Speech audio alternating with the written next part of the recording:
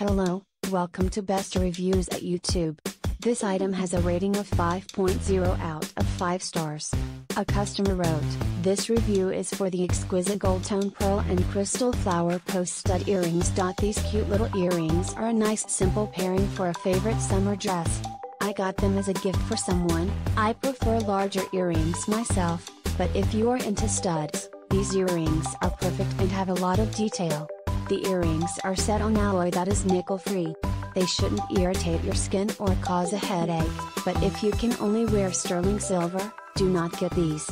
If you aren't too sensitive, you can put the backings into Vaseline and it will coat the metal and they are easier to wear for long periods.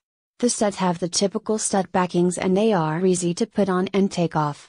The pearls, gemstones and green stones are held into their settings with feet that are secure and these won't fall off. The gemstones are all faceted for maximum sparkle, and the pearls are luminescent and glowing. The green stones in the middle may be acrylic I can't tell, but they are cute. I think these would make a lovely Mother's Day gift, or a birthday gift for someone special. Very cute. 5 fifth stars If you have any questions please post below and I would be happy to answer. I received a free promotional sample of this item for my honest and unbiased review. Thank you for watching. Please give the thumbs up,